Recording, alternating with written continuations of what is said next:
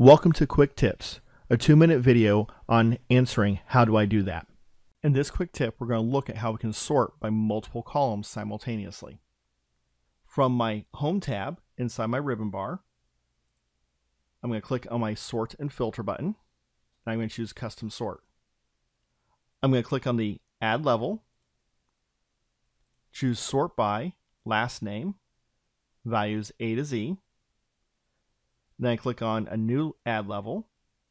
In this case, I'm going to choose first name. So it's first going to sort by last name. Anytime that there is a match, it will then subsort by the first name.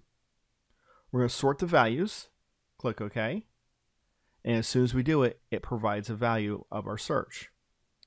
Now our last names come up in alphabetical order.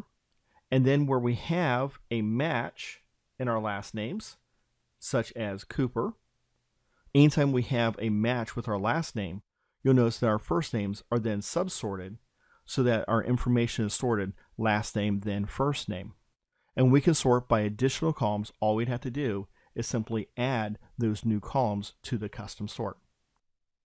If you like this video and want to see more, don't forget to subscribe to our YouTube channel. And if you have questions that you want to know how to do that, remember to ask them down in the comments section